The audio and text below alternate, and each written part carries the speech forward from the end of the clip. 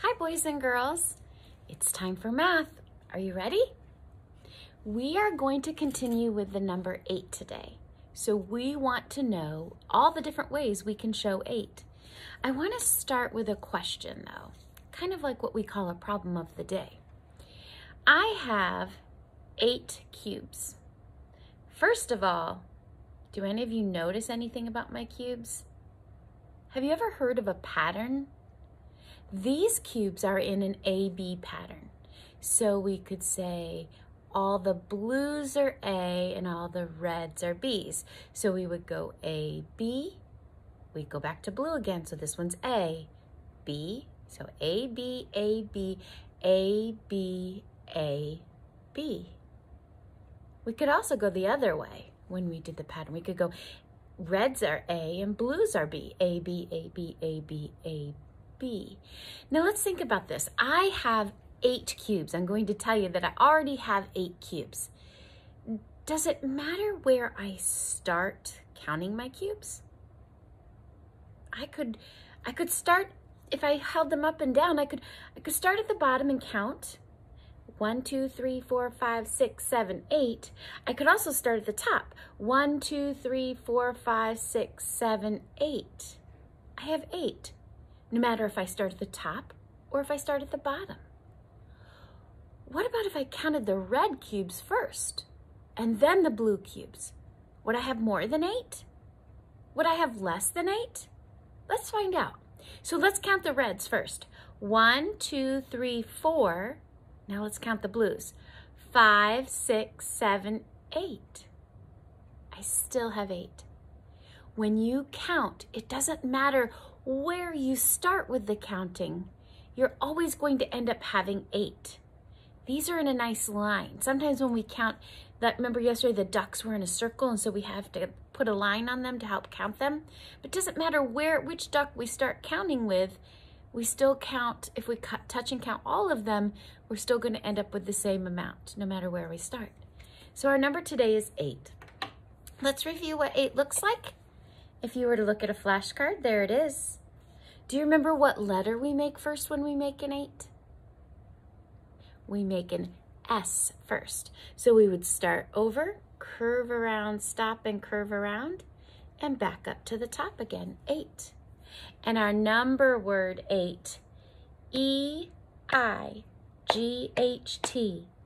E-I-G-H-T. It's a tricky one, that one is hard. And last, let's take a peek at our sombreros here. We have some hats. This is a representation of eight also. I want you to try and see, I have a set here and a set here. Those are going to help you. How many are in this set? Do you remember? One, two, three, four, five. Remember what that looks like? A set of five and a set of three. Five plus three would be eight. One, two, three, four, five, six, seven, and eight. Let's go ahead and get started with our lesson today. You should be on page 149. We'll start today by tracing. We're going to trace a whole bunch of eights here. Eights take some practice if you've not done them before or very often. We curve around. Make sure you're touching the lines when you do that.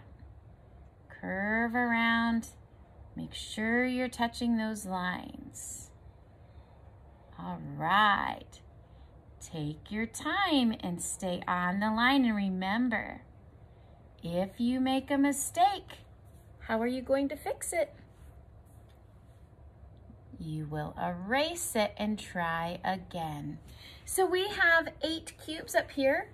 I have a set of five and three more. One, two, three, four, five, six, seven, eight. I also have some buttons. They're not five and three. Instead, they are four and four. Four, one, two, three, four, and then four more. Five, six, seven, eight. And down here, E-I-G-H-T. Say it with me. E-I-G-H-T. Let's go ahead and copy that or trace over it. E-I-G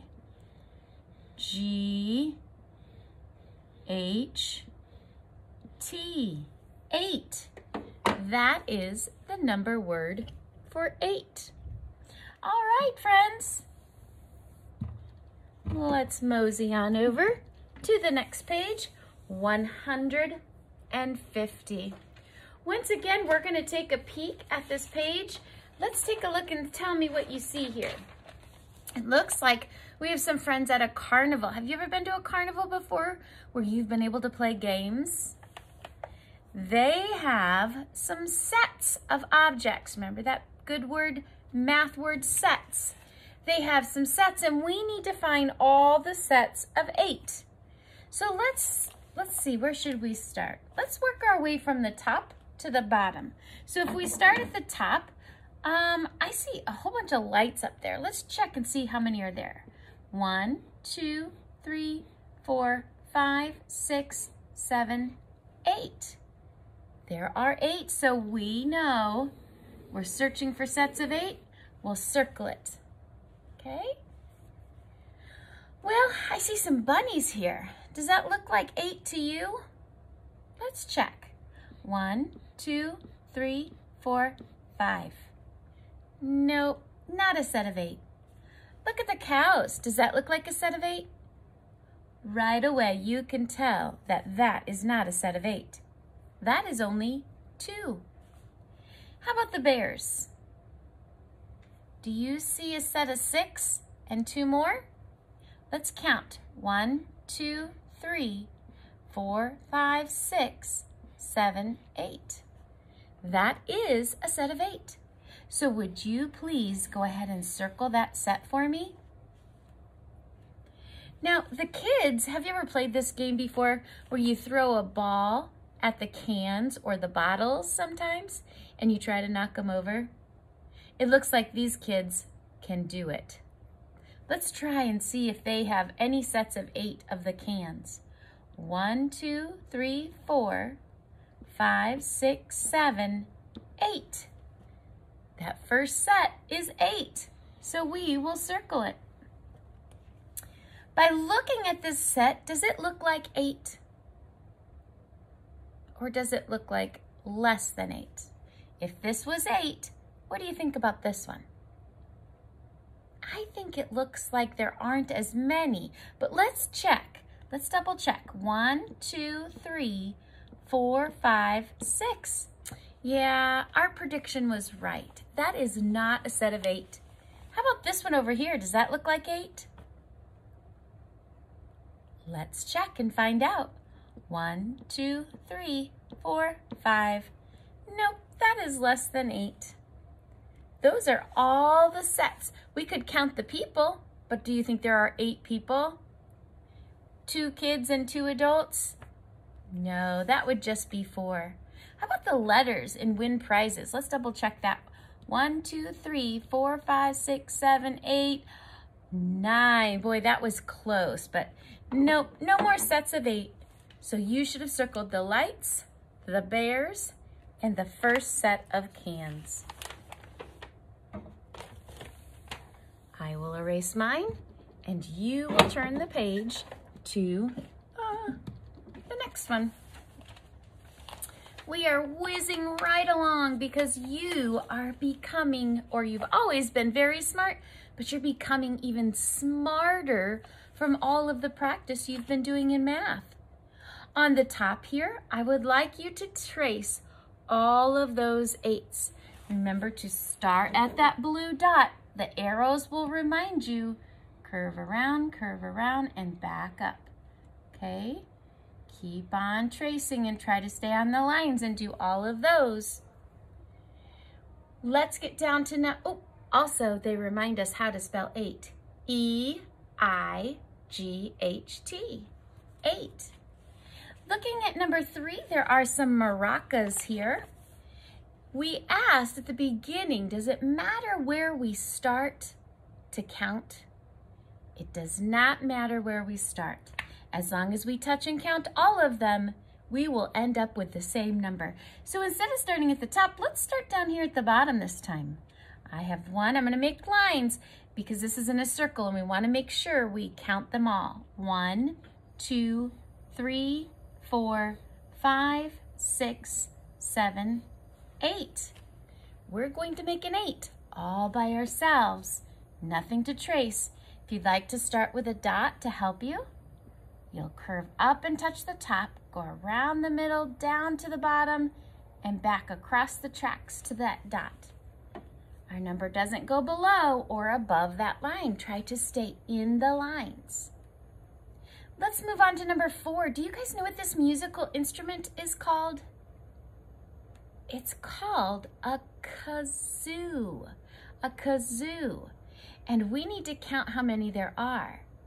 I spy with my eyes. How many do you think there are just by your by looking? I see a three and a three. Three and three make six. Let's double check. One, two, three, four, five, six. We were right. So let's go ahead and make a six. Down here at the bottom, I see a whole bunch of whistles. I also see them kind of grouped into two sets. I, do you see this set? A set of five and a set of three. So some friends, five and three, if you were to add, how many would that make? Or we could say five, six, seven, eight. Or if we needed to count, we could. One, two, three, four, five, six, seven, eight. There's no wrong way of counting. Sometimes we're just looking for shortcuts. All right. So our last one, again, I kind of see a set of three here and a set of five over here. But we can count. Remember, Miss Vogel said there's no right or no wrong way to count. We just try to make it quicker. One, two, three, four, five, six, seven, eight. There are eight in that set. You are doing an amazing job. Let's finish with our very final page for the number eight today.